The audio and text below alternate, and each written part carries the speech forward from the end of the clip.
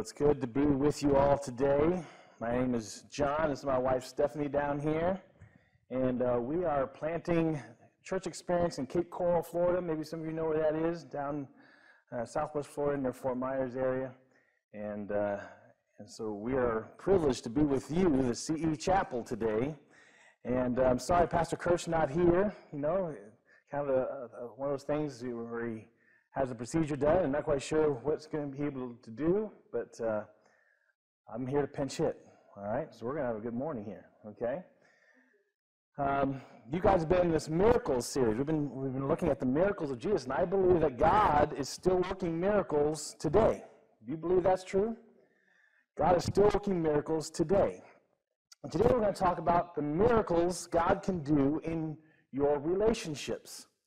I'm so thankful that uh, we took communion today. Two weeks from today is Easter Sunday. Do you know that? 14 days is Easter Sunday. It's hard to believe it's, it's here.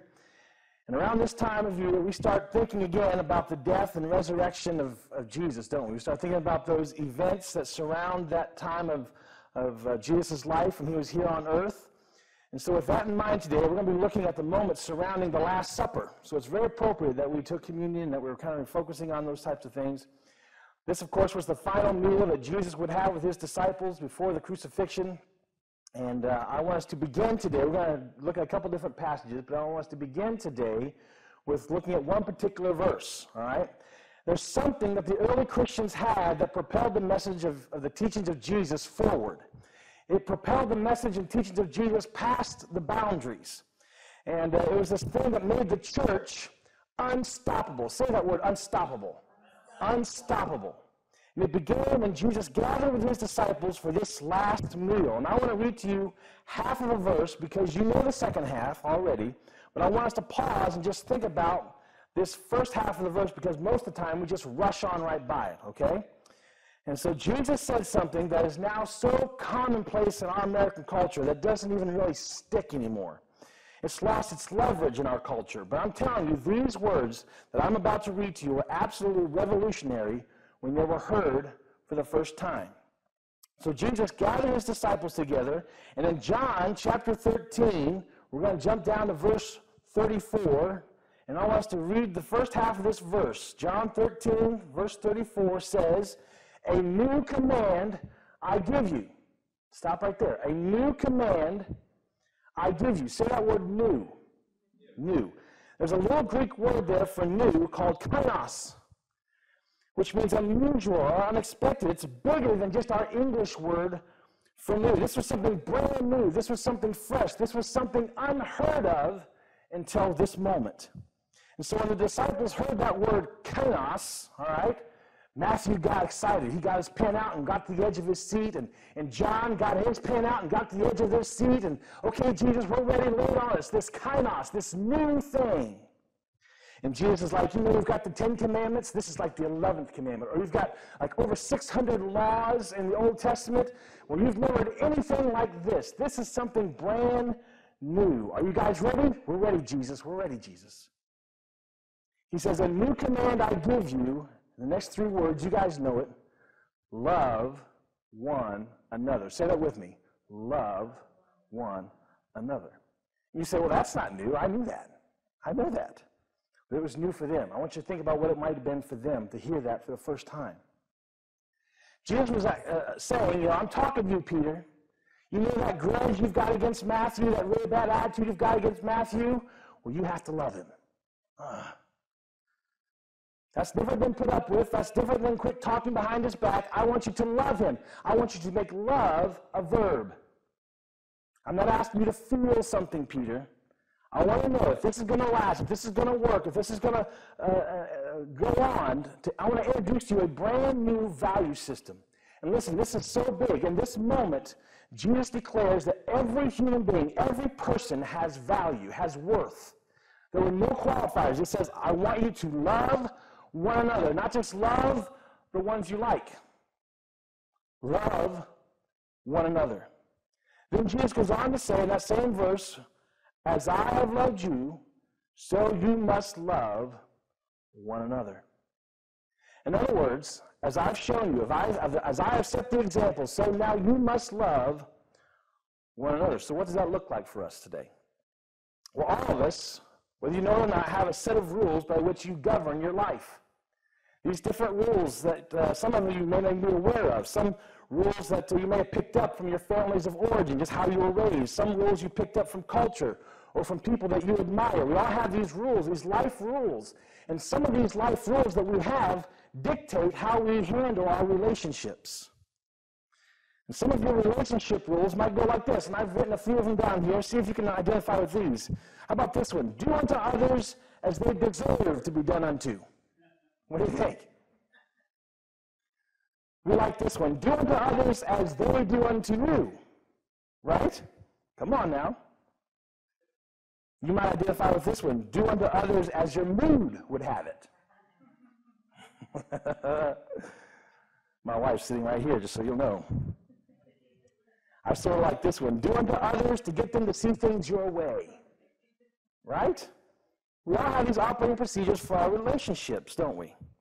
And we've developed these relationship rules over time, and then many of us became Christ followers. We became Christians. And as we open up the Bible, as we begin to grow in our relationship with Christ, we discover that God's called us to a different standard of living than those rules. A different model of operating when it comes to our relationships. This is what Jesus was saying to his disciples. This is a new thing. This is a new command. This is different than the world's way. This is different than the rules you grew up with, perhaps. This is different. And God says, I don't want you to do unto others as they have done unto you. I want you to do unto others as I have done unto you. Hmm. That is, I want you to begin taking your cues from me, not the world. As I have treated you, so I want you to treat other people. Instead of responding in like kind or responding in revenge, I want you to focus on what I've done for you and I want you to be, I want that to be the standard for how you treat people. We just celebrated communion, reminding us of what God has done for us. And can I just be honest with y'all? Can, can we just act like we've known each other a while here? All right? That's not easy, is it? That's, that's not easy. Because God has unconditionally forgiven me, but I don't know if I really want to unconditionally forgive you because then I feel like I'm just letting you off the hook. Or God has unconditionally accepted me, but I don't know if I want to unconditionally accept you because you're not all that unconditionally acceptable. We're being honest, right? And so this is very difficult. It's not intuitive for us at all. And in several places in Scripture, God says stuff like this Hey, look, don't get all high and mighty thinking that you and I are on good terms because you go to church or because you know the songs, or because you have a quiet time, or you spend a lot of time in prayer, or you give in the offering. Don't get too caught up in that kind of thinking. Because if you say you love me and you don't treat the people I put around your life very well, then you don't really love me. John puts it this way in 1 John 4 whoever claims to love God yet hates his brother and sister is a liar. In other words, the measure of our relationship vertically is the measure by the depth is measured by the depth and maturity of our relationships horizontally. And there's something in me, and maybe there's something in you that wants to put those in two different categories. To say something like, I love you, God, but I can't stand him. right? Or I really love you, God, but I don't want to be around her. And I really love you, God, but if they don't change, if you don't change them, it's over. And that's how we want to operate, isn't it? At least that's how I do. That's what comes naturally. But God said it's not that way. I measure the depth and maturity of your love for me by how willing you are to do unto others as I have done to you. That's a whole new command. It's difficult for us.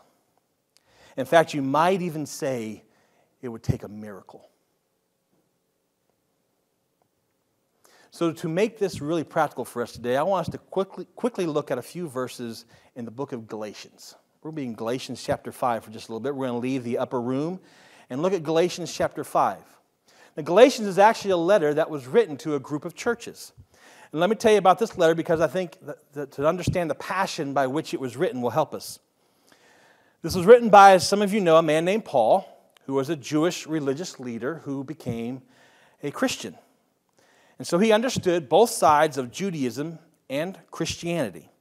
And he's writing this letter to a group of Jewish Christians who are trying to figure out okay, I know Jesus is the Messiah, but I've got the law of Moses. Now, how do I merge these two things together? Because I grew up thinking that in order to please God, I had to jump so high, duck so low, run so fast, crawl so slow. I had to do all these things in order to please God. And now you're telling me that I'm forgiven. I have a Messiah named Jesus. They died for my sins. So what do I do with the law? So Paul writes this letter to help people understand their perspective on the law. And here's what he says in this letter, Galatians 5. We'll pick it up at verse 13. You are my brothers and sisters. You, my brothers and sisters, were called to be free. All right? Say that word free. Free. Free from what? Free from the law. And earlier in the letter, he basically says that Christ fulfilled the law, and instead of having a relationship with the law as you grew up having, I want you to now focus on a relationship with Christ. You are called to be free from the law. Now, when I hear free from the law, I kind of go back to when I was 16. All right? You know what I'm talking about? When you got your driver's license and you get behind the wheel for the first time all by yourself. I am free from the law, right? I am on my own. Mom and dad aren't going with me. I can go anywhere I want. I can do anything.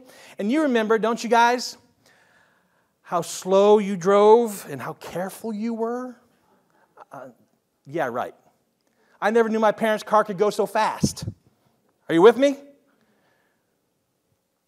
But we had this sense in which we were free. We're thinking that there's no more rules. We're going to take total advantage of our now newfound freedom. And so Paul is writing to a group of people, remember, and some of them are starting to get it. They're starting to say things like, We're free. Hey, no more law. We're free. That means I don't have to be nice to you. I don't have to worry about what God thinks. I can sin all I want because I'm going to heaven when I die because Jesus died for my sins. And then there's this other group of people saying, I don't think it works like that. And they're having this debate. And Paul speaks into this debate and writes this letter. And he makes a powerful statement about serving. Now, this principle is so powerful. If you're here today and you're having any kind of relationship difficulties with somebody, and that would be probably all of us to some level, some degree, you're dealing with maybe a family thing, a work thing, a friend thing, a husband thing, a wife thing. there's challenges in all of our relationships. You're dealing with some sort of relationship issue. This principle is so powerfully relationally. So let me read the rest of this verse. Again, verse 13 You, my brothers and sisters, were called to be free. And everybody's like, Yes, freedom. But do not use your freedom to indulge the flesh. Now, what's the flesh? It's that sinful, self centered nature in us. And don't, don't, everybody's got that, right? Come on. Just because you're free, don't leverage your freedom for your own self centeredness. Don't think that now that I don't have to be nice to you, I'm not going to be nice to you. Now that I don't have to keep all the rules, I'm not going to keep all the rules. Paul says, don't exercise your freedom like that. He says, and this is, this is key, he says, now that you're free from the law, you have a brand new opportunity. You have a brand new opportunity to now freely choose. Say the word choose. Choose. You have an opportunity to freely choose something and freely do some things that before you were commanded to do, but now you're free to choose to do. And that makes a difference, doesn't it? I mean, it's sort of like taking out the trash, all right? Now, I don't mind taking out the trash as long as nobody asks me to do it. Right? Or maybe it's emptying the dishwasher, right? Or cleaning up the kitchen after dinner. I mean, if Stephanie asked me to do the dishes, I'm thinking, oh man, okay, I was just getting ready to do this, right? But if I freely choose to do the dishes, suddenly, da da da, I'm husband of the year, right? And when I do the dishes, I like to do the dishes loudly. You know what I'm talking about? So Stephanie knows I'm doing the dishes. Listen, honey, I'm choosing to do the dishes on my own. You didn't have to ask. Clink, clink, clink, clink. I did it just because I love you. Isn't that a whole different thing when somebody asks you to do something and when you freely choose to do it? And that's what Paul's getting at here. He says, you know what? You're not under the law anymore. God's not measuring his relationship with you by your performance. That's done and over with. Now that you're free, you can either say, hey, I'm never taking out the trash again, I'm free. Or, now that you don't have to, you can freely choose to do it. And in choosing to do it, you create a new opportunity to impact your relationships with other people. Choosing to do it. Now, this is so powerful. Watch, watch what he goes on to say in, in the rest of verse 13. Don't use your freedom to indulge the flesh, the sinful nature, that part of you that basically says, I want to do what only I want to do. Rather, serve one another humbly in love. Say that word serve. Serve. In other words, here's your opportunity to freely choose to go back towards those people who's disappointed you back towards those people who have hurt you, back towards those people who are unfair to you, back towards those people you consider to be an enemy. And now that you don't have to, you can freely choose to move in their direction and serve them. Do you know what serve means? Somebody put it this way. I think it's pretty simple to remember. It means this when you see a need, you meet it, and when there's something to be done, you do it. When you see a need, you meet it, and when there's something to be done, you do it. Say that with me. When you see a need, you meet it. When there's something to be done, you do it. That's pretty easy to remember, isn't it? Not because you have to, because you want to. And now that you're free to choose, you look at the relationships you have with the people in your life, and Paul says, I want you to look for opportunities to serve precisely because you don't have to. And when you choose that, you take a huge step of harnessing that sinful nature in you that says, I only want to do what I want to do, you serve me, you do things my way, and we all have that. And Paul goes on to say in verse 14, for the entire law, the very thing he's trying to get them away from, the entire law is fulfilled in keeping this one command. You guys have heard this before love your neighbor as yourself. In other words, all that stuff you've done for years, trying to do, trying to practice, trying to please God for years and years, generation after generation, these Jewish people tried to keep the law. And he says, I can sum it all up in one statement. Here it is. Here's what God wanted the entire time love your neighbor as yourself. Now, how do you do that? It's real simple. You serve. You see a need and you try to meet it. You see there's something to be done and you do it. It's not an emotion. It's not God, me and this person are having some problems, and as soon as you heal my heart, no. He says, serve them. Or, okay, as soon as I feel, no, no, no, no. Just serve them. Or when they, then I, no, no. Just serve them. And again, when you see a need, you meet it. When you see there's something that needs to be done, you do it. That's serving. And then Paul gives a contrast. And I love how Paul writes these contrasts in there. It's, a, it's as if he says, okay, you don't have to do this, remember? You're not under the law, there's no rules. But if you choose not to do this, if you choose to allow your freedom to appeal to your sinful nature, that selfish part of you that only says, do what I want to do, then this is what's going to happen. Verse 15 if you keep on biting and devouring each other, I don't think he literally meant that, okay? Kind of biting, nitpicking, bickering with each other. Watch out, or you will be, be destroyed by each other. That's a pretty big word, destroyed by each other. In other words, you don't have to serve. You can just keep on living it like it's my way or the highway. I'm going to be in a bad mood. I'm going to complain. I'm going to threaten. Sure, you can run your relationships that way. You can allow that self centered part of you to rule and reign. That's fine. But if you do that, you'll eventually be destroyed by each other. Paul says if you refuse to meet the needs that you know you could meet and you refuse to do the things that you see need done, and you only serve yourself, eventually you'll destroy your relationships. And some of you know what I'm talking about. He says, I'll tell you how to break out of that self centeredness. You make a decision, you choose. It's not a feeling. It's not a wait until the Spirit moves me. It's not a wait until God changes my heart. It's not even wait until I can forgive Him. It's just serve one another. Now, let me tell you why this is so powerful. When you decide to serve someone who's not on the same page with you, someone you've argued with, maybe an enemy, maybe someone you have a bad attitude towards, maybe somebody who's hurt you, when you decide to serve, here's what happened you, you break the control of the self centeredness in your life.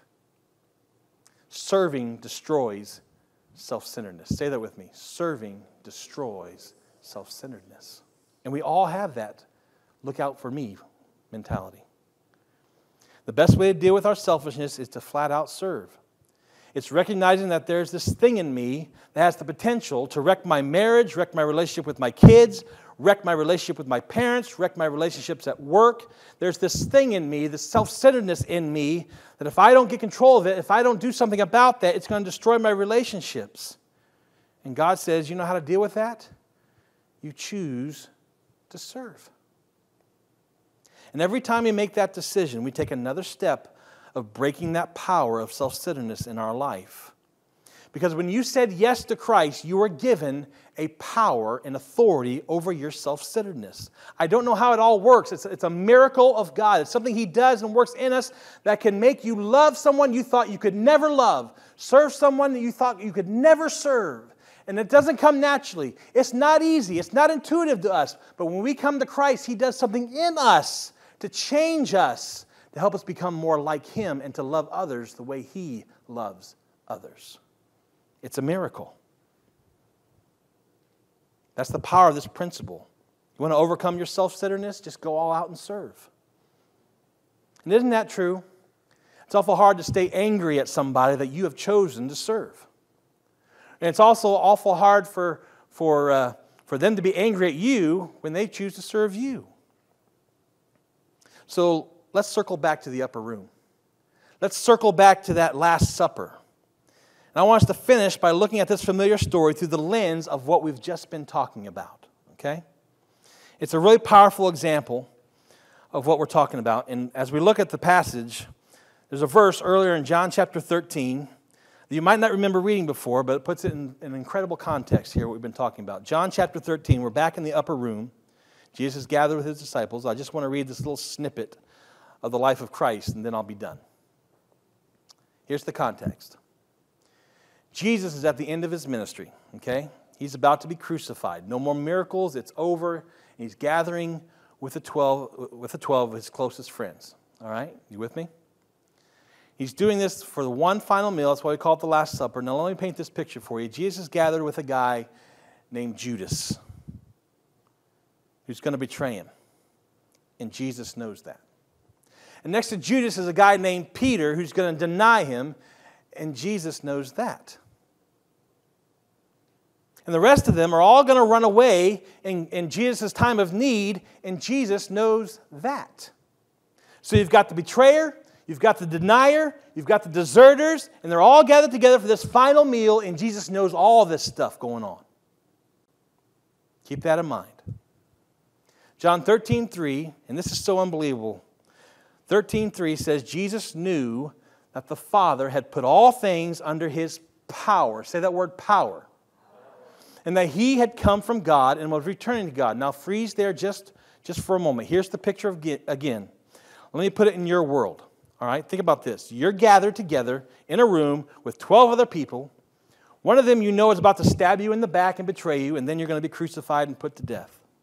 And then another one who claims to be your biggest fan is going to deny you that they even know you, not just once, but three times and the rest of them are all going to run off and desert you in your greatest time of need. And get this God has given you power over everything.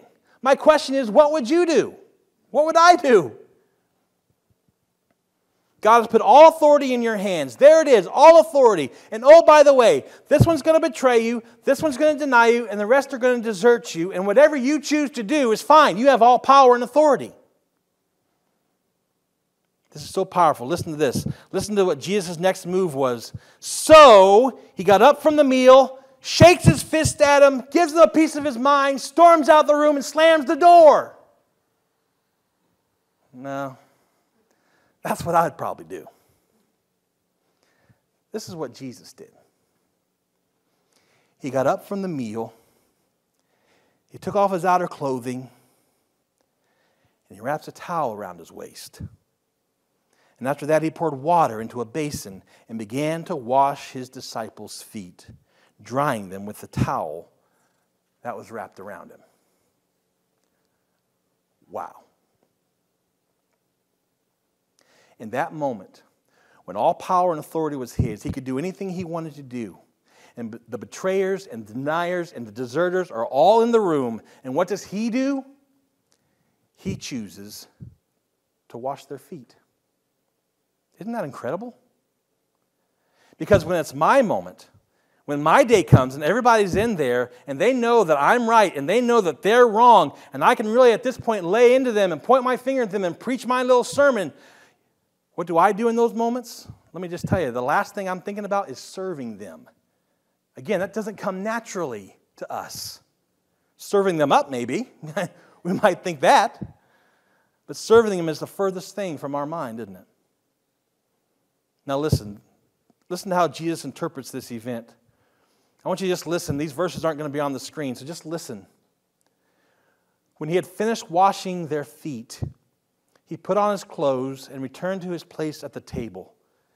Do you understand what I've done for you? He asked them. Verse 13, you call me teacher and Lord, and rightly so, for that is what I am. In other words, capital L O R D. In case you've forgotten, I am Lord. Now that I, your Lord and teacher, have washed your feet, you also should wash one another's feet. I have set you an example that you should do as I have done for you. Do you know what he did for them? He gathered the betrayers, the deniers, and the deserters, and he served them. And then a few hours later, he hung on a cross and died for their betrayal, died for their denial, died for their cowardice. And he said, Now I want you to go into the world when you meet those people who betray you and deny you and desert you. I want you to leverage your freedom that I've given you and choose to serve them. To recognize their need and meet it, to figure out what they need done and do it. Not because they deserve it, but because I did that for you, Jesus says. What if we adopted that mindset? What if we adopted that mindset in our relationship and asked the question what's their need that I can meet? What do they need done that I can do? How can I serve others? So let me ask you as we close this time together.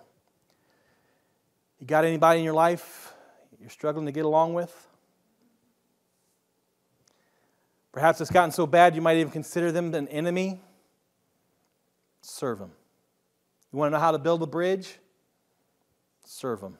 You want to know where to start? Serve them.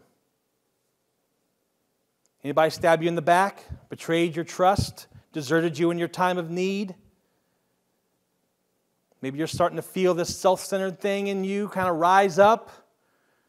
Take it captive, destroy it by saying, No, I'm going to serve. Perhaps you're here today and you've allowed your selfish, sinful nature to rule your relationships for years, to reign and rule your life, and you're slowly destroying the relationships that you have with the people in your life that are close to you, people in your life that you would say that you love, but you've not loved them by the way you're serving them. You can start today. Just choose to serve. When you do, you'll fulfill God's entire law that can be summarized love your neighbor, love your wife, love your husband, love your kids, love your parents, love your boss, love your employees as yourself, as I have loved you. When Mark wrote his gospel, he said it this way For the Son of Man, which is God, did not come to be served, but to serve and to give his life a ransom for many. That's the ultimate act of serving love, isn't it? That Christ showed us. He gave his life for us, and the cross equals love. And so, this Easter season, when you're viewing crosses from time to time. You're reminded, like we were today as we took communion, you're reminded of what God did for you, the sacrifice He made for you, the thing He did for you to serve you. Now you need to go and do that to others. The cross equals love. And Jesus looks at you, and Jesus looks at me, and He says, Now you go do the same thing sacrifice. And by this, everyone will know that you're my disciples if you love one another. You want to know how to build your relationships? Serve them. Let's pray. Heavenly Father, would you please in this moment work a miracle? Bring to our minds that person or persons that we've just been maybe too busy, or maybe we're too angry, or maybe we're too hurt to even begin to think about moving in their direction and serving them.